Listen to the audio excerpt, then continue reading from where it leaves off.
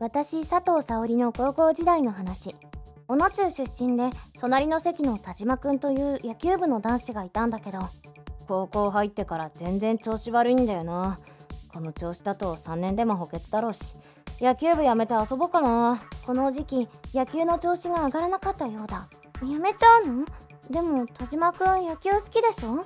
ままあ好きだけど。ったらもう少し頑張ってみなよ。まだ1年なんだしわからないよ。田島くん頑張り屋だしまだ調子上がるよ。私は密かに田島くんに思いを寄せていたので頑張ってほしかった。佐藤がそこまで言うならもう少し頑張ってみようかな。田島くんは努力が実り高2に上がった頃は調子が良くなり次期部長候補に。大会でも好成績を出していて甲子園に行けるのではと注目されていたが田島くん将来プロになりそうじゃない？今のうちにサインもらっていい？いや大げさだよ。いつの間にか遠い存在になっていた。2年の秋修学旅行があった。一班男女4人ずつに振り分けられ運よく田島くんと同じ班になった。これを機に私は告白しようと思っていたけれど。おい田島あっち回ろうぜ。ちょっと男子そっちは予定と違うとこでしょ？当日は男女別行動になってしまった。そして夜女子部屋では恒例の恋バナタイムが始まった。ねえみんなどうなの？男の方は。バレー部の坂本くんが気になってるんだけど緊張しちゃって。マジ？私この旅行中に告るつもりだけど。え誰？サッカー部の山中くんもいいけど本命は野球部の田島くん。全然ありでしょ？同じ班になったし。え？班長のかな子は私が告白するのを知っていたので気まずそうに。そそうなんだ。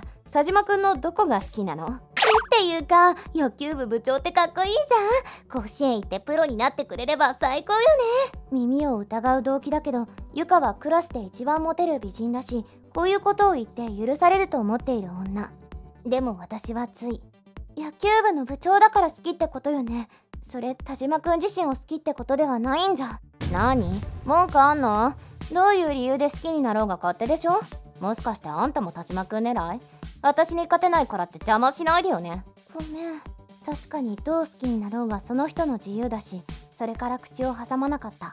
その後気まずい空気の中就寝に翌日オリエンテーションの時にゆかは行動に出た。田島くんこの後2人ペアなんだって一緒になろう。田島モテモテだな。さすが次期野球部部長。余計なお世話だよ。野球部部員にクラス1の美女のカップルとか反則だよな田島くんとゆかのカップリングに周りが盛り上がってしまった。さらに追い打ちをかけるかのように。ねえ今日の夜男子部屋行かない？せっかくの修学旅行だし。えでも女子が男子部屋行くのまずいよ。教師たち10時からミーティングらしいから行ける。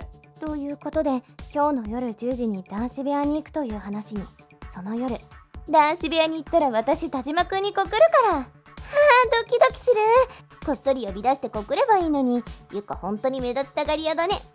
沙織どうすんの ?10 時前ゆかたちが男子部屋に向かう準備をしていた頃。沙織ごめん外行ってくる。一人になりたいの。私が部屋を出て外へ逃げ出してしまった。逃げ出しちゃった。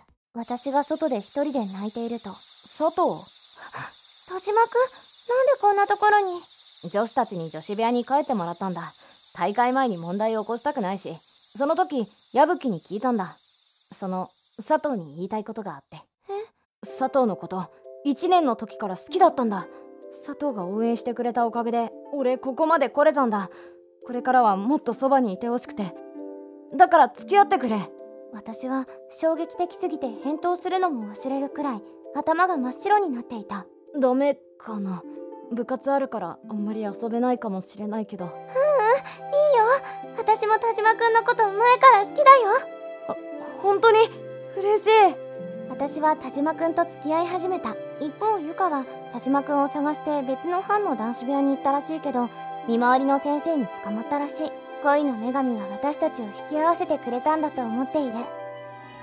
ご視聴ありがとうございました。また見てね